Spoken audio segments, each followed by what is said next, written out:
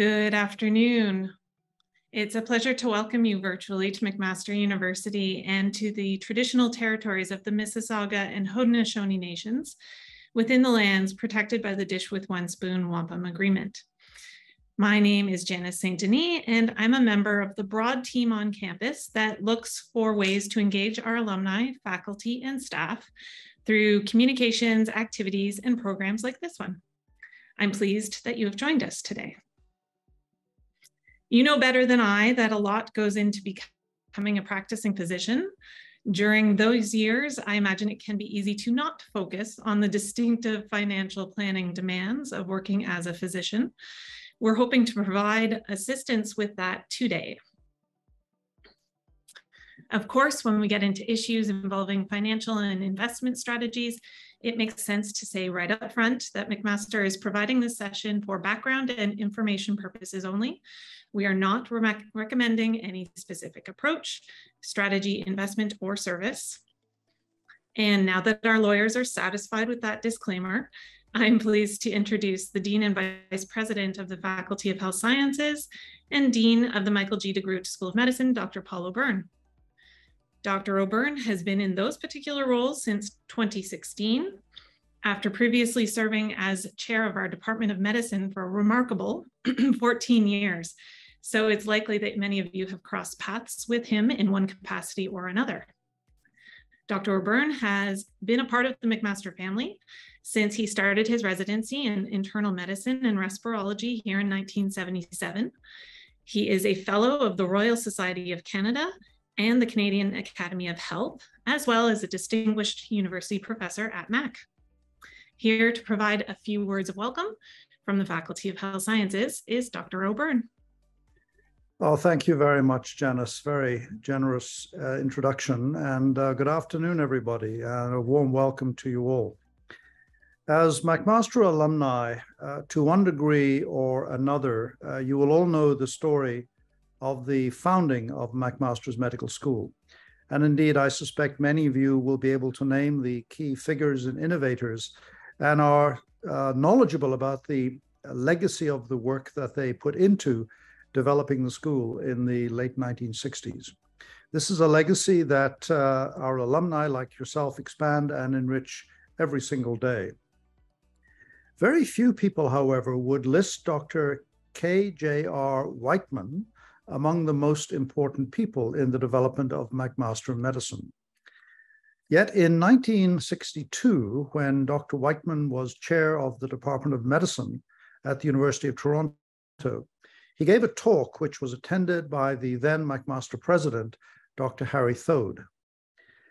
At that talk, Wightman suggested that medical training paid too little attention to the education in a broader, more humane sense. And Thode took that idea away with him, and half a year, half a decade later, five years later, he, uh, working with John Evans, uh, supported the building of the foundation of a revolutionary medical school that has subsequently become the Michael G. DeGroote School of Medicine, which is, of course, your alma mater. Today, this medical school is no longer merely a disruptive upstart. We now lead from the front as one of the most accomplished and most successful medical schools in the world.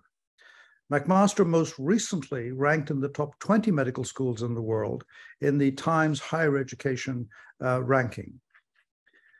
Now, these rankings are a validation that the innovations that McMaster brought to medical education in the early 1960s, and indeed the many successful educational innovations since, together with the really immense research strengths we've developed, have had real impact, as indeed have had the alumni of our medical school in so many different areas. As all of us progress in our careers as physicians, it becomes clear how truly well rounded our skill sets need to be. Sometimes this uh, is obvious by design, uh, but other times without us even realizing it we be, start to become capable in fields like writing, public relations, law, administration, human resources, information technology, and indeed many other areas. I suspect that all of you here today, as McMaster MD alumni, have careers that are a little or a lot different from that you had expected or planned at the time of your graduation. And that is certainly true for myself.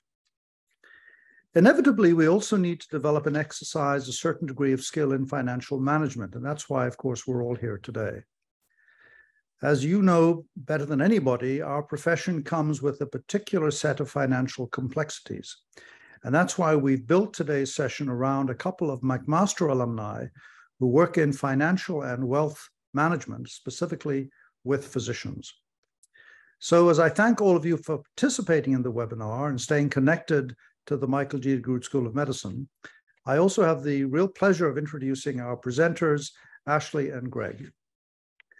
Ashley Smith is a graduate of the DeGroote School of Business and a principal at Brownlow Partners Chartered Professional Accountants.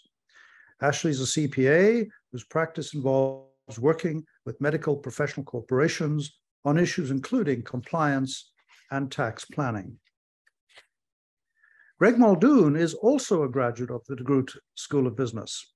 He is a certified financial planner and chartered investment manager, a member of the Financial Planning Standards Council of Canada, and the president of Muldoon Wealth Services, which is aligned with Mandeville Private uh, Client Incorporated.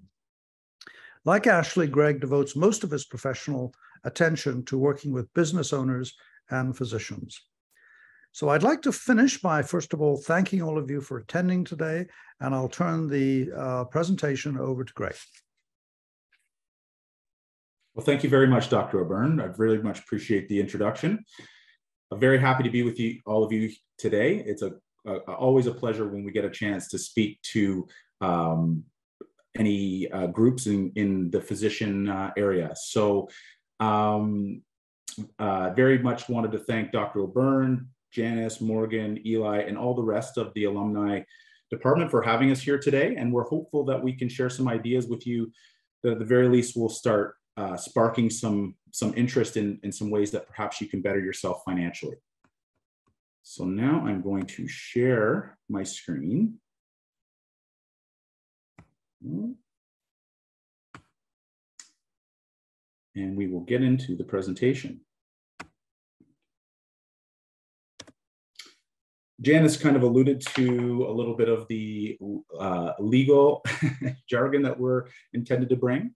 Uh, the presentation today is going to be filled with some suggestions and ideas and strategies that uh, certainly can help a lot of you along the way financially, but it's very important to understand that both Ashley and I, whenever we uh, suggest any strategies such as the ones you're going to see today, uh, typically there's a lot of due diligence done in advance to fu fully understand somebody's situation. It's these strategies and ideas should be con uh, considered similar to that of tools. And as we all know, tools can be a great help in helping us uh, construct things, but at the same time, they can be dangerous if they're not used properly. So just keep that in mind when we go through these situations that if you do think it's something that, that appeals to you or perhaps find interest in, then I would suggest that um, you reach out to a financial service professional and have them take a look at your situation before deciding whether or not any of these ideas uh, are right for you. So I want to cover a little bit of the agenda, what we're going to talk about today. So many of you are uh, probably experienced with, with the corporation, but in an effort to lay some foundation, we want to chat a little bit about the basics of what an, a corporation might mean for you uh, and your family. And in addition to that, we want to try and paint a picture of the journey you're going to go on uh, with respect to your uh, financial well-being. So we want to talk a little bit about accumulating uh, your wealth as well as then decumulating your wealth um, and try and give you some ideas and strategies that might help your particular situation.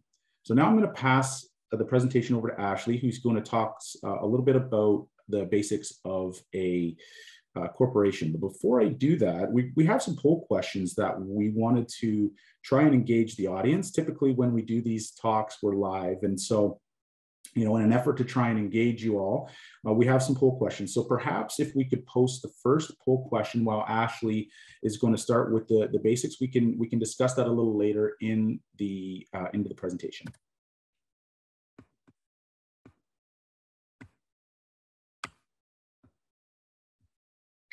So as Greg mentioned, the first thing that we're going to cover is a little bit of basics in terms of medical professional corporations or MPCs as we refer to them throughout the presentation.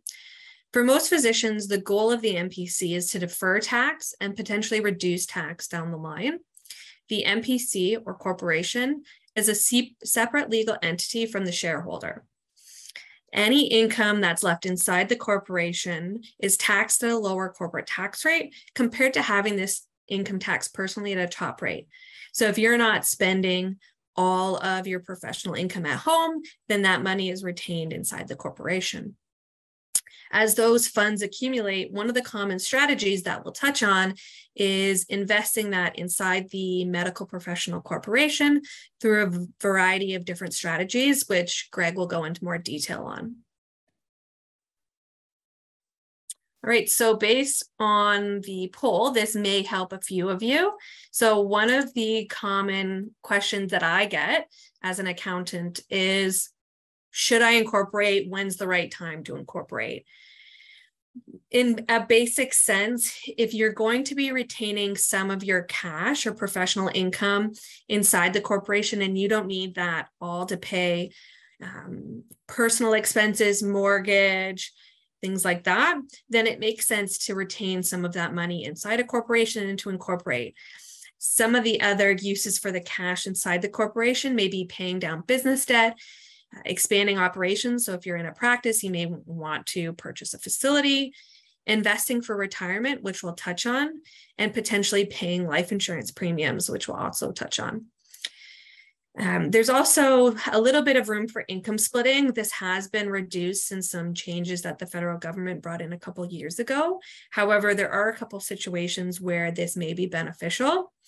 If you are a two physician household and there's a discrepancy between the two income levels of those physicians, it may make sense to have one corporation and then split the income evenly to both shareholders through that corporation. There's also an opportunity to pay a salary to a lower income spouse. Most often, we'll see this paid for administrative services that are performed.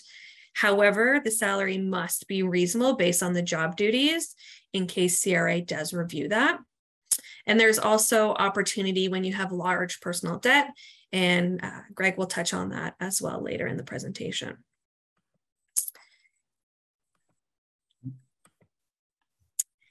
One other sticky point that the federal government has put in a couple years ago is that they've changed the calculation for the small business limit. This is based on passive income or investment income exceeding 50,000. So we often get questions about does it still make sense considering this reduction? And for the most part, it still does make sense based on your portfolio and if you have the right structure set up with your investment advisor, they can tailor your portfolio to minimize tax and hopefully not exceed the 50,000. If you do exceed the 50,000, it's not a huge deal. There's a little bit higher corporate tax rate paid. However, when you do draw that money out in the future, that money will be drawn out at a lower personal tax rate. So you're no further behind than if you only paid the lower personal tax rate. Thanks very much, Ashley. It was great coverage of the basics for corporations. Now we want to switch gears and start talking about accumulating assets within your corporation. Um, and as Ashley mentioned, there's a number of factors that are going to go into some of the decisions you make when it comes to the accumulation of your of your assets within your portfolio.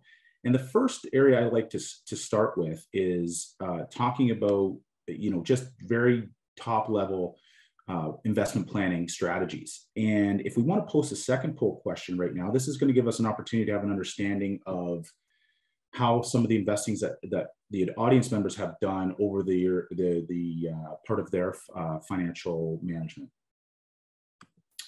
So while we're waiting for the results to tally, uh, I often get the question about, well, what, what's the right way to construct a portfolio? And obviously there's a number of factors based on your own personal situation that are gonna go into that. But ultimately, there's, there's a concept and an idea of trying to structure a portfolio that mimics that of a large institution, like a pension fund, an endowment fund, uh, or ultra high net worth investor. Oftentimes, when you look at this, the, the types of portfolios that exist for these types of investors, they generally tend to have a lot more uh, variety of investments in them that can certainly help the long-term um, the long-term strategy when it comes to your investment planning. So essentially, what we see typically for most individual investors like us is that they have some sort of collection of public fixed income or bonds, uh, public stocks, uh, and some form of cash or GICs. And, and depending on their risk profile, they'll uh, have some sort of uh, mixture of those depending upon how much growth versus income they might need. But an institution and an ultra high net worth individual uh, endowment funds uh, generally tend to have several additional investments to them. They generally tend to include things like private equity, venture capital, private real estate, private debt, infrastructure, and resources. And typically, when I first start talking about an idea like this, I get a, a, response that might sound something along the lines of, "Well, I'm, you know, I'm not an institution. I'm not sure I have the same needs uh, that an institution does." And I would uh, suggest that there's really only five needs that any investor could have, whether it be an institution or an individual. We all are striving to preserve our capital, have some level of liquidity, have some combination of income and growth, and in addition, as Ashley kind of alluded to, try to minimize taxes along the way. And so, whether we're uh, an institution or whether an individual, typically th- those five needs are very similar. And so when us as individuals really need to consider striving towards that of the way institutions uh, happen to manage their money as opposed to uh, you know the t- traditional method for for individuals um, you know and a lot of times i'll also get a, a question about well isn't that too aggressive considering investing in some private investments well then i would pose the question do you consider the Canada Pension Plan or OMERS pension plan to be aggressive investment mandates?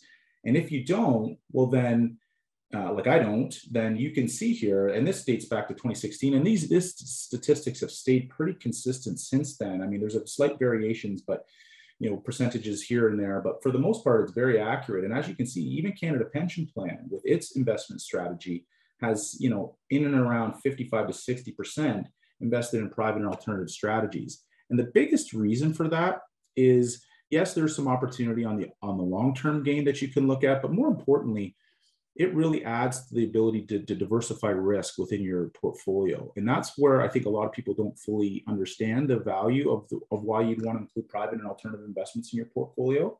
Biggest example I can give you is let's take a look at this year, right? If you were to own a, a, a standard stock, bond, and cash portfolio, uh, you'd have no area where your portfolio would be performing very well. Bonds have taken a, a very large dive this year, as have stocks. Um, however, if you had introduced some different private equity strategies, private debt, or even private real estates, those all three of those categories have a, have a high probability of being positive this year. And so, what it ends up doing is providing what we call a lack of correlation, and that is the most important concept when it comes to diversifying risk in your portfolio because some people think, well, to diversify, you just have a bunch of different types of investments. And in actuality, you're going to hit a law of diminishing returns where at, at one point you're just going to keep adding different uh, companies or bonds or what have you, and you're just going to end up chopping off more return than you are risk. And so as a result, the more important factor is find investments that don't necessarily move in unison with one another. Not to say that they can't ever be negative, but most importantly, they're just independent of one, one another with its return profile. And so um, that, that's what generally ends up diversifying risk is that you have assets that don't necessarily move in unison with one another. And as I'd mentioned previously, we might have thought stocks and bonds were lack of correlated, but as you can see with the existing economic uh, circumstances that we have today, uh, they're not necessarily that negatively correlated. So we're going to move along. I, I, uh, if we could post the third poll question, I want to. Oh, we have an answer. Okay, great. So as I kind of suspected, most of the portfolios that exist out there happen to be more common and traditional, and this is where, again, we try to educate um, our clients to understand the value and importance of building a portfolio that looks a lot more like a pension fund uh, or a large endowment fund or an ultra high net worth investor.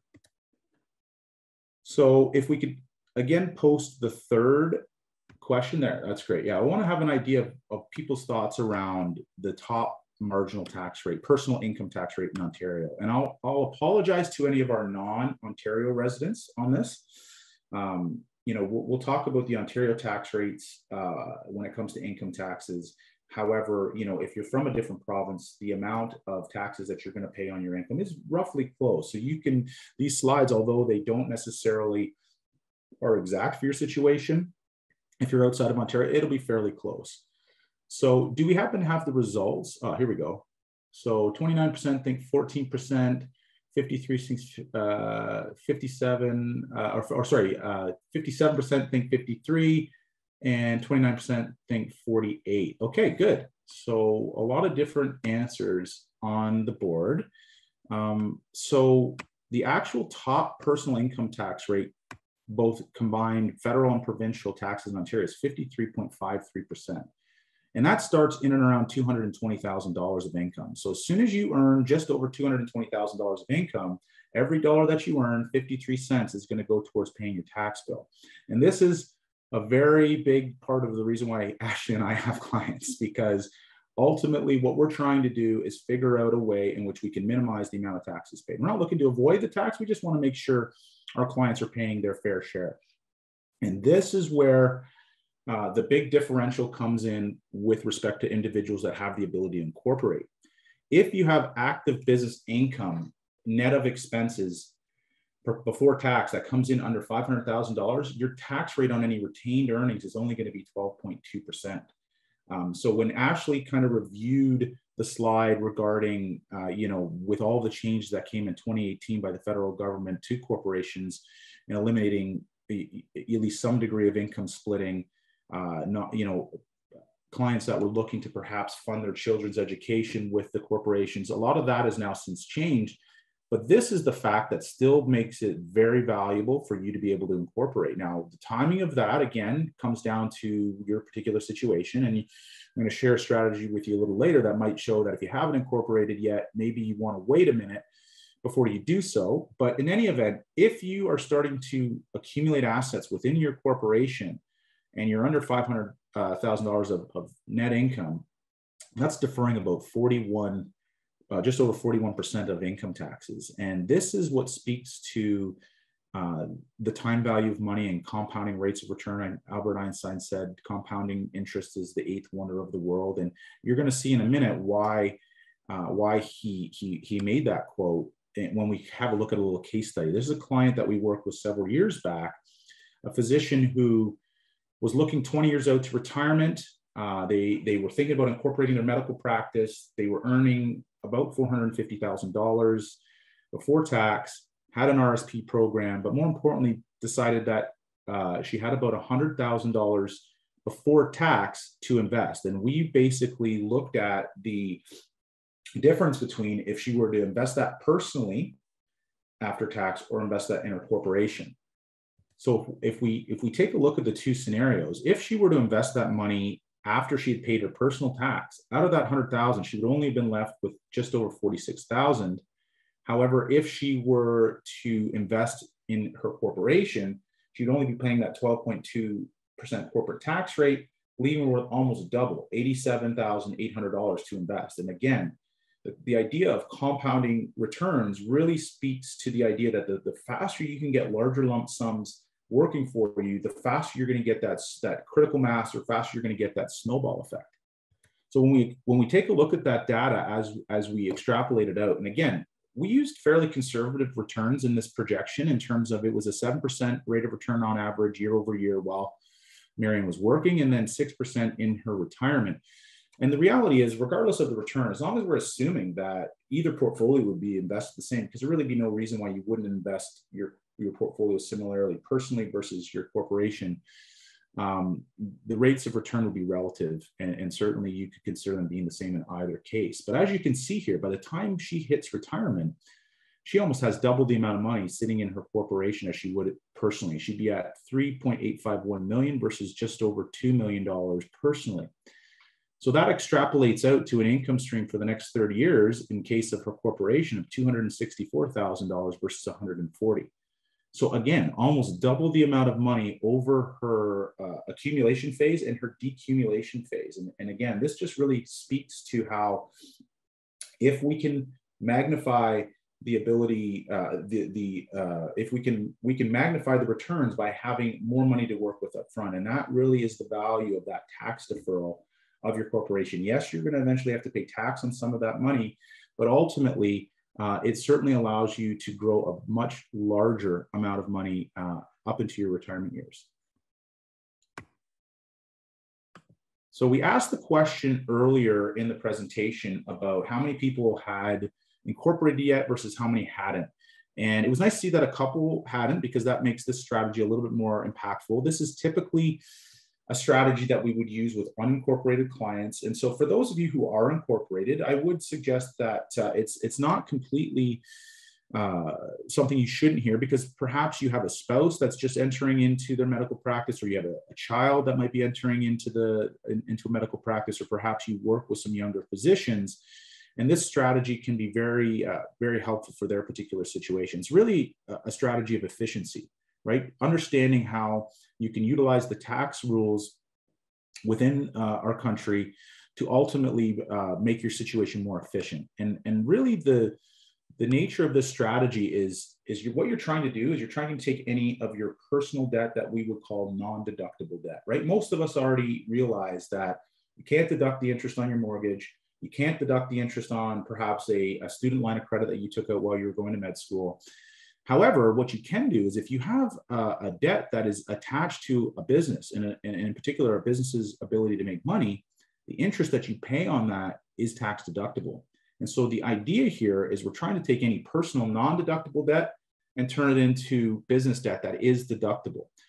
So typically, uh, you know, we'll, we'll, look at what we see in, in terms of a typical scenario, right? Let, us assume a business or, or a practice that's generating four $400,000 before income taxes. And then they have $225,000 of annual expenses. So that 400,000 works out to being roughly $34,000 a month. And, and of that $34,000 a month, they need $19,000 to, to service their business expenses. Perhaps it's rent on a building, maybe it's uh, salaries of employees. So typically where we see this most commonly general practitioners, dentists, anyone who's part of a grouped, uh, a grouped uh, medical practice where there's a bunch of different dif- disciplines and you share the space and you probably share some employees and infrastructure. This becomes a common scenario here. And so if the situation looked like this, you, you pay your 19,000 of your 34 tours, your expenses, which leaves you with $15,000 a month to pay your taxes personally and then have money left over to pay your personal expenses. Oftentimes, we see with medical professionals that they might have a personal mortgage or perhaps they have a student line of credit.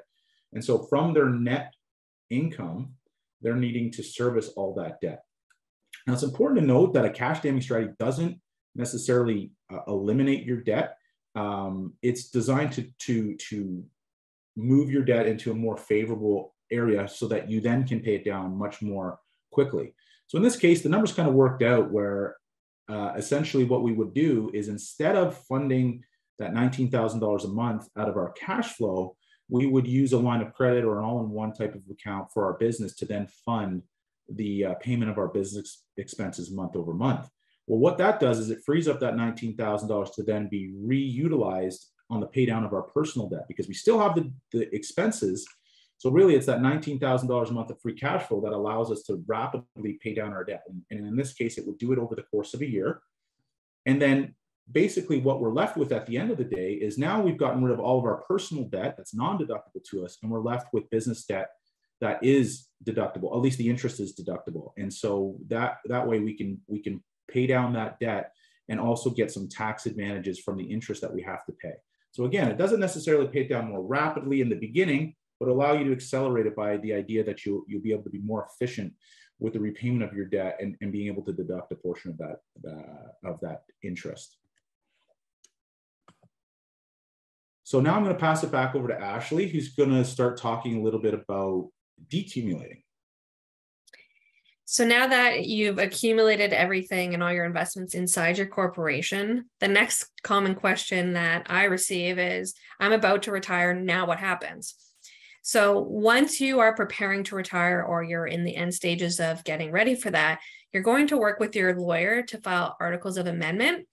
And what this will do is change the name of your corporation to remove the medical professional corporation section of your corporate name. And you'll likely default back to the number company that was assigned when you incorporated. The corporation continues and will hold your investment portfolio, life insurance, real estate, anything else that's inside your corporation. However, it continues, it doesn't end when you retire.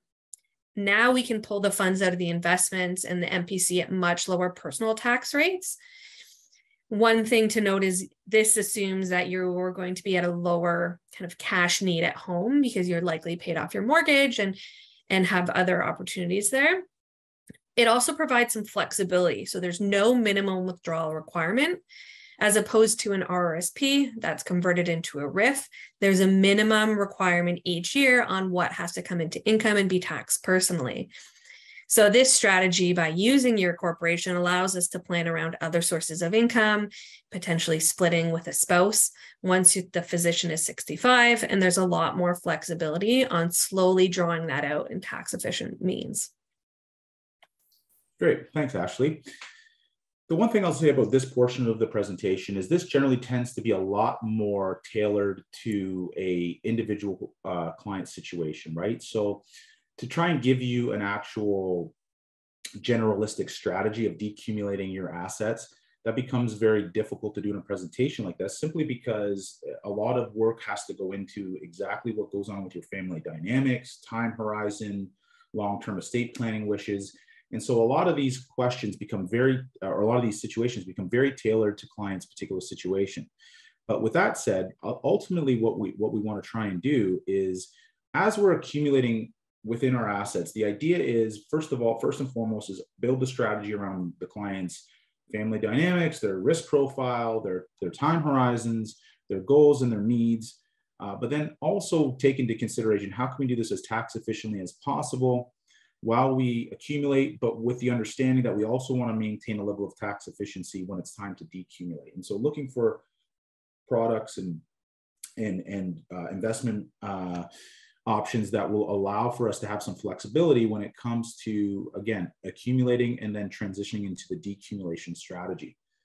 So I, I will share a, a, strategy that we've used uh, several times with, with a bunch of our uh, incorporated clients that allows them to, again, accumulate and decumulate uh, a, a, pool, a, a, pile of their assets um, by using a, a, a life insurance vehicle. So before I continue, could we post the last poll question um, just to get a sense as to how long some of our audience members have been practicing.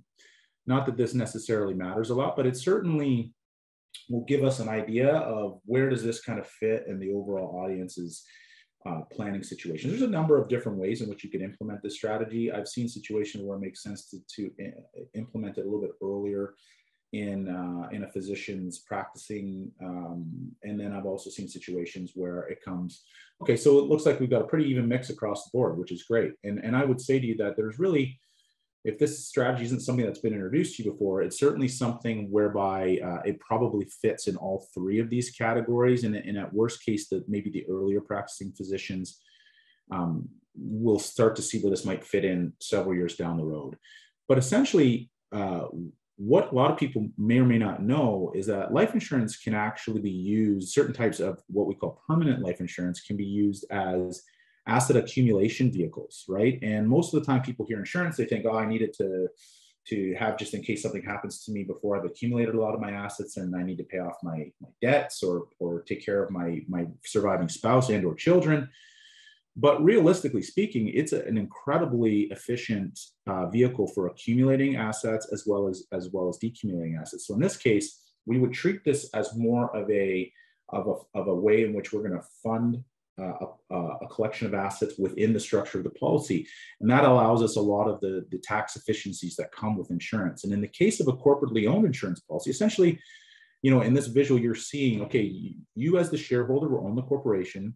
We assign ownership of the life insurance policy to the corporation as well as the beneficiary. And then we're also able to fund that insurance policy with our after tax corporate dollars as opposed to our personal dollars. So again, we're in a situation, as we spoke on before, where we have that ability to put much more money to work for us before there's some substantial personal taxes that are being paid. And then the next step, so, so basically we spend our time uh, while we're working uh, you know, adding to our, you know, our standard investment portfolio and perhaps adding to the life insurance silo, right? I, again, also an excellent diversification tool because the way that some of these policies can work happens to have a low correlation to more standard based investments, especially if we're talking about whole life life insurance. And so essentially, like I said, what's going to happen is you're going to accumulate, accumulate, accumulate. And over time, you're going to have a, a sizable sum of money uh, inside the insurance policy, no differently than you would have your more standard investment portfolio. And so in the ideal world, this is probably the most effective uh, tax strategy when it comes to wealth transfer. So first and foremost, if there is a desire or a need for wealth transfer, whatever that wealth transfer is to beneficiaries, to charities, to institutions, whatever that is, um, very tax efficient to have this money flow from your corporation out to those to those particular people. Um, but further to that is, is you know the idea that you can actually access the capital within these life insurance policies while you're still alive. There's a number of ways to do it. I would suggest the most uh, efficient way to do it is you can go to a bank and, and there's a lot out there that that will will accept a life insurance policy as collateral. BMO being one of the top because they have a, an insurance arm. Life's Bank has has a lot of experience with this. But in any event, there's a number of banks out there that that are more than willing to offer you a loan uh, as uh, with your life insurance policy as collateral, right? And typically, what you'll see happen is, let's say, for example, over the time that you've had this policy, you've accumulated five million dollars up until the point when you want to start drawing on it, and you go to the bank and they'll give you a percentage of that um, value and allow you to take it in the form of a loan line of credit, whatever makes sense. Sometimes people would like to access a lump sum of money straight away, and it's a fairly tax efficient way to do it. Uh, we, we've used a strategy in the case of a client looking to actually want to have a buy a cottage in retirement and you know as opposed to drawing a big lump sum out of their corporation and, and pay a, a bunch of taxes that way it made more sense to kind of take periodic withdrawals from the insurance policy to then pay down the mortgage uh, over time. Uh, but in any event, whatever the situation might be, you, are able to draw from a loan that then pays out to you by way of dividend as the uh, as the shareholder. But again, back to my example, if you had say five million uh, accumulating uh, within that policy, uh, and then you pledge as collateral, the other reason why banks love this strategy is because they realize that the nature of these policies are to continue to grow. And so they, they, they might give you the opportunity to what we call uh, capitalize the interest, being that they're not even going to ask you for an interest payment um, because they know that your policy is going to continue to grow. And so whenever it's time for you to pass and, and now everything is being settled, uh, essentially they realize that they should get their money back. And in this instance, you know, you, you could have a situation where it was originally worth about five million dollars when you were starting to draw on it. And then uh, as you, uh, you perhaps you, your your loan balance got up to about five uh, sorry four million dollars by the time you passed but the policy was growing that entire time right? Again these types of policies just like your investments can attain that level of critical mass and that snowball effect. And certainly if you just use a loan as opposed to accessing some of the capital in that policy it should grow quite rapidly towards the tail end of its existence and so it might be worth $10 million by the time it's time to pay out and pay off the loan. And so that's exactly what happens. When you do pass, the first payoff goes to the bank to get rid of that loan. So in this example of it being worth uh, $10 million and their $4 million loan repayment, that $4 million comes off right away. And then the remaining $6 million is paid through to the corporation. Now, here's where the part gets even more attractive for most people. And that is what an insurance policy has the capability of doing is building up what we call the capital dividend account. And Ashley uh, certainly has a lot of experience speaking to clients about this particular account because really what it is is it's it's a it's a notional account. So it's not a physical account with money in it. It's a it's basically a number that can grow over time with various inputs from your your existence within your corporation, life insurance uh, being one of them. That essentially means you can get money out of the corporation tax free. And so, depending on when you uh, set this this strategy up, it's very possible that you'll pay very little tax on the on the remaining death benefit flowing through the corporation to your beneficiaries or to your estate. Um, but there are certain circumstances where if you had it in place long enough, you'll actually have a, a large enough capital dividend account that allows the proceeds to flow completely tax free. And that's the example I'll share with the, the example I'll share with you here. We had a situation several years back where we had a, a, a, a client where they wanted to fund a 20 pay permanent insurance policy. It was it worked out to being thirty thousand dollars per year. And again, it's it's important to know that think of this more as, as part of your investment strategy as opposed to insurance, because obviously for some of you that are used to term insurance, that probably seems like a lot, but only a small part of that 30,000 would be going to fund the insurance, whereas the remaining portion will be there to grow the, the, the what we call the cash value of the policy. So in this instance, that $30,000 per year for 20 years bought them an initial policy of $550,000, which basically meant if something happened to uh, the, the, this particular client in year one, they would have paid the $30,000 and it would have paid out 550. But if it continued to fund over time, uh, it would have it'll it would have grown quite substantially in value. Now, at the time we implemented this strategy, I think we were, were looking at the borrowing from the bank at about 7%, which in up until this year was quite high. But based on what's gone on for the remainder of this year, it's actually probably fairly accurate as the number you'd be looking at to borrow against the policy now.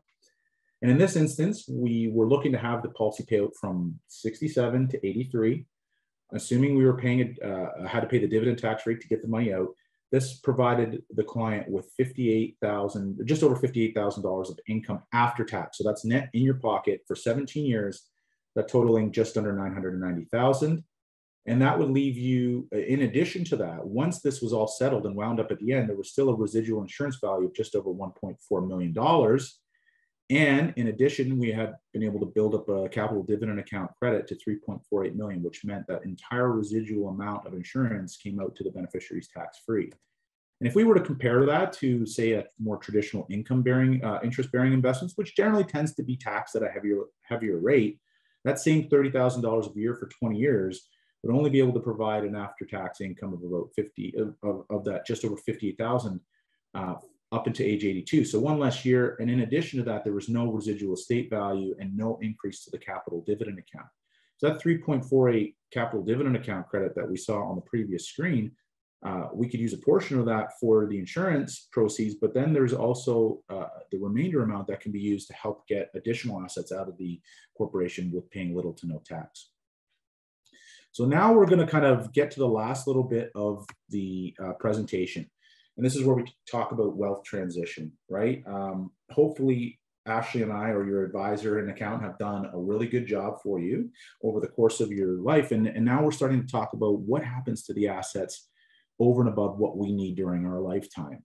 And I get a, as Ashley, we get a variety of different answers on that on, on here. And obviously, our goal is to try and help them realize uh, uh, exactly uh, what they're looking for in the most tax efficient manner possible you know, and, and by way of using insurance policies or a variety of different investment op uh, options, you know, oftentimes we come across a situation where there might be more money than clients uh, expected there to be. And as a result, uh, have, have made comments such as, well, I'm not sure I want to leave all of this money to my beneficiaries or, or, or my kids. And, um, you know, and obviously there's a bunch of different options, right? In terms of you could leave it to your family members. You could leave it to, uh, you could, perhaps there's a charity that you're closely affiliated with that you really, that's meaningful to you.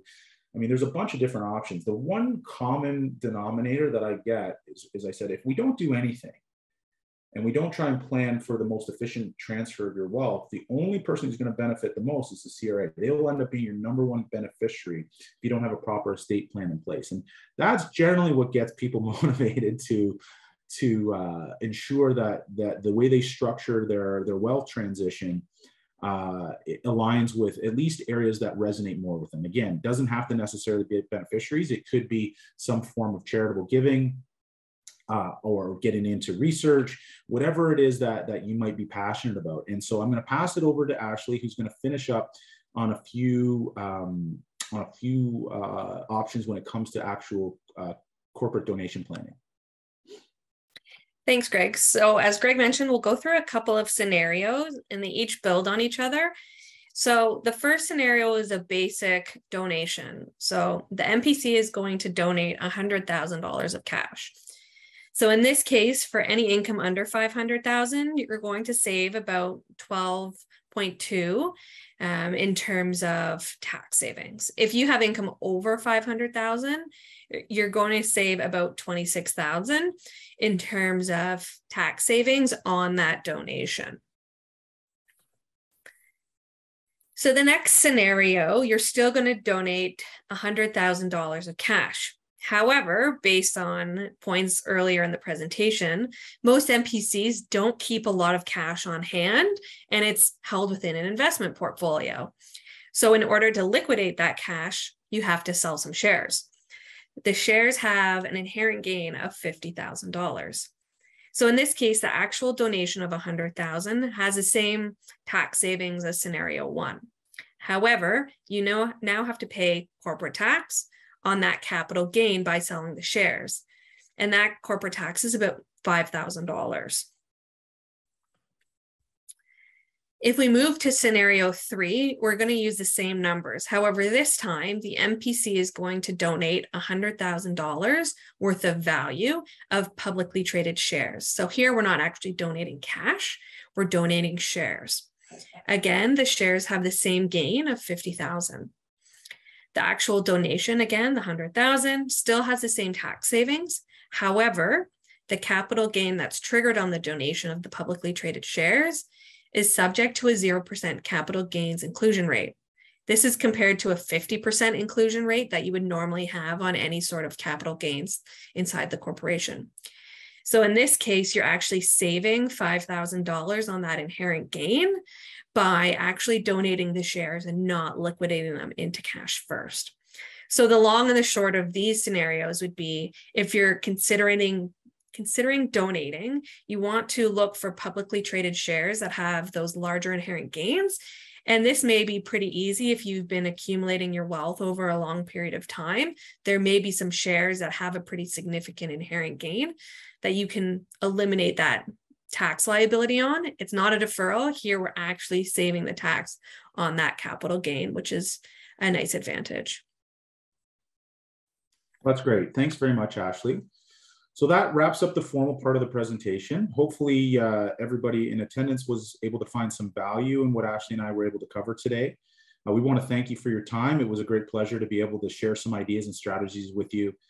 Again, if you ever have any questions uh, that perhaps you, well, certainly we'll take some questions right now. If you have any questions uh, that you perhaps feel more comfortable taking offline, here's the contact information for Ashley or I. We'd be happy to, to answer any questions that you do have certainly uh, if you if there's some things that you did find of value today by all means reach out to a financial professional whoever that might be to help them uh, see if it makes sense for your situation but now I'll, I'll, turn it back over to janice who i think will will help offer some questions from the group Yes, absolutely. Thanks very much, Greg and Ashley. Um, we do have a, a, small amount of time for some questions, and we do have, uh, if you have those questions, feel free to feed those in um, using, I believe, the Q&A portion of the webinar, uh, and I will get them fed to me here to ask. So our first question is, I'm still paying my student loans four to five years out while practicing. What should I focus on, investing or paying down personal debt? Or is there another option? Great question. Uh, I would say, and, and, Ashley, I'd be curious to get your, your take on this as well. I think the trade-off always comes in these scenarios is is taxes versus um, you know taxes versus interest rate right? And so depending upon the situation you find yourself in as you saw earlier in the presentation certainly if you're not incorporated i'd be looking at seeing whether or not a cash damming type strategy worked in your particular case. But if you are incorporated the challenge of paying off that debt at least accelerating that debt is you know depending on which province you're in you're roughly going to be in a situation where you're going to have to pay roughly 40-ish percent uh, on top of uh, your business tax to get that money into your hands personally to be able to pay down that debt. And so you got to kind of compare that to the interest rate that you're paying down. And i mean i know interest rates are on the rise and i would imagine most uh, lines of credit for physicians generally tend to be variable but you know maybe you have a fixed if so that's that's even better for you right now. But even in the case of a variable uh, variable interest rate we'll probably see interest rates rise for the next little bit and maybe stay there. But you know the answer to higher interest rates generally uh, generally tend to be a, it's like a self-fulfilling prophecy. There's only so long that the interest rates can remain high and eventually they'll have to start coming down again because of the way it'll slow down the economy. And so what I would suggest to you is that if you're worried about interest rates going up, just keep in mind the idea that if you were to try and focus on paying down your debt, uh, you're going to be paying a lot more in income tax for to flow additional monies outside of your corporation in order to pay it down. And so I think the math would support the idea of trying to accumulate assets. And, and you know, the one term I always use when it comes to clients, because I know and I've seen a number of cases where uh, debt is a very emotional thing for people, and it's totally understandable. But I would say if you accumulate assets, the one thing that gives you is what we call collateral clout, meaning you have the ability to pay down your debt at times in the future by accumulating more monies as we saw how much you can accumulate in advance if you were to just keep that money in your corporation i would say that there is some sort of uh, advantage if you were to stay that route but with that being said generally ashley and i sit down with our clients and we look for ways that we can try and do both but ultimately the numbers do generally tend to favor the savings over over rapidly paying down debt anything to add to that ashley I think you hit on the, the the main points. I think it's always finding that balance between not just investing and not paying down debt, or just paying down debt and not investing. It's just finding the balance between those two and what works for you. Yeah, uh, that's a great point. And, and the one thing I would add to that is a lot of times what we want to look at is how much, if you are incorporated, how much are you drawing from the corp? Because we've seen, I've seen clients where they're able to get by on a very modest amount of income flowing from the corp, and they look at it like, oh, I could save that much more money by keeping in it. But the reality is, is that we don't want to give up certain lower tax rates. So there is a there is an argument to be made that you want to be taking out at least a certain amount of income from your corporation, because if you don't, you're going to build this big pool within the corporation, and eventually it's going to have to come out. And when it does, it's going to get taxed at those a lot of it at those higher tax rates. In which case, you're going to want to ensure that you know as you're going along, you're going to want to maybe draw a little bit more if you're at a low level, and and that's perfect money to be used to pay down debt or maybe even invest personally.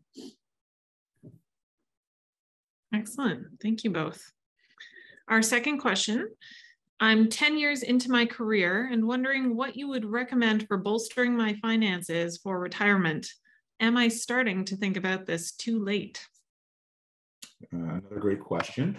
Uh, you know, oftentimes I get, so I'll, I'll, relate this to another scenario that maybe you found yourself in. Um, because I feel like it's the age old question should we pay down our mortgage or should we invest our money? Right. And that's oftentimes where people find themselves if they're just starting to get started later. And, and all I say to people when, when this comes up, because again, acknowledging that sometimes mortgages and debts are really uh, causing people lack of sleep at night factor and there's there's that uh, that emotional side of it that causes a lot of discomfort and so i never want to discount that when it comes to the planning ideas for clients but what I would say is it, the, the trade off is simply this. If you were to focus on paying down your mortgage aggressively early on and then waiting a little bit longer to start saving for retirement, the reality is is that that can still work out for you. It just means you need to save a little bit higher percentage of your overall income. And so it's definitely not too late to, to start building your retirement nest egg. It's hard to say without understanding, you know, when you're hopeful to retire. I mean, I know a lot of physicians that some of them are willing to work as long as their health will allow them to, in which case, yeah, you've got a good amount of time to continue to accumulate. If importance, if the importance of retirement is, is much more in the forefront for you, well then, you know, I would I would suggest that really you need an advisor to sit down and look at your overall situation and then create an, an accumulation plan that's going to show you, okay, if you save this much, this is what you can expect. If you save this much, this is what you can expect. Uh, and at least give yourself an idea of whether that fits with what your vision of what retirement looked like. Ashley, anything to add? No, you hit that one on the head. Fantastic. Um, for question three, uh, it's an interesting one. When should I start thinking about decumulation? Do I need to start this process six months out from retirement, a year? Is there a perfect timeline that you can tell us? That's great. Uh, good question. And I'm sure Ashley and I can also give two perspectives on this question, right? Because there's obviously going to be a tax side of it, and then there's the the whole, uh, you know, will I outlast my money kind of side of it, which is more my domain. And and the first thing I always say to clients when we start getting closer to retirement is five years is a pretty is a pretty valuable uh, spot. And um, you know, granted, we can move that depending on situation. But as far as a general rule goes, I say five years out, you want to have your strategy. You really should have your strategy in place for how you're going to do it. And the reason why I say five years is because if we kind of look through market history over the last hundred years, five years is a good amount of time that allows you to adapt to the market situations that are at hand. And here's the reality: like any, even the greatest advisors in the world are not going to be able to predict what the market is going to do. It's just not going to happen. I mean, Warren Buffett would tell you that he can't do it. So if he can't do it, I wouldn't. I would suggest most advisors can't. So if, if we can't predict what the market is going to do, well, then we need to have a plan to be able to understand the fact that that volatility that's going to happen we need to be able to be prepared for it in any direction, right? And, and really the biggest risk to you outliving your money kind of happens in those couple years right into uh, going into retirement and the couple years when you're first in retirement. Because when you look at uh, decumulation strategies, if you were to have, if you wanted to de- uh, decumulate at a certain level each year in retirement, but then within the first couple years going into retirement or the first couple years into retirement, you had a dramatic drawdown or market turndown on your portfolio, when we look at different what we call Monte Carlo analysis, which basically when we look at decumulation, we want to see variable rates of return as opposed to linear rates of return, because that's kind of more how the market works. We see that you could have the exact same long-term rate of return, say 6%. And if you were to get market downturns in the first couple years versus the later years, you have a much more higher probability of running out of your money. And so that's where that five-year time horizon comes in, because essentially what allows you to do is you can, if markets have been doing great up until that point, it's a really good time to really try and look at structuring your portfolio in a way that we start to set aside monies that for those first couple years of retirement should we see that significant downturn and furthermore if if it's if it's if the markets have been have, have just gone through a downturn we've got five years for them to rebound before we need to start drawing on it. And so it allows us to kind of play the waiting game a little bit. Like even if you look at the financial crisis in two, 2008, which was one of the worst market downturns in history, five years later, most people were back to where they started, if not slightly, slightly above. So uh, sorry to ramble on you, Ashley. I don't know if you want to take any approach from a tax perspective to that. Yeah, so for a tax perspective on decumulation, we typically look at that pretty early on in, in incorporation. As Greg mentioned, there are some physicians that will say, well, I only need about $80,000 of cash every year. Well, that means you're accumulating a lot. And when you go to retire, you may have more than we can declare over the next 20 years to draw out of that corporation. You're going to pay higher tax in retirement than you do when you're working. So, one of the goals that we like to do is kind of use up those lower tax brackets by declaring a dividend.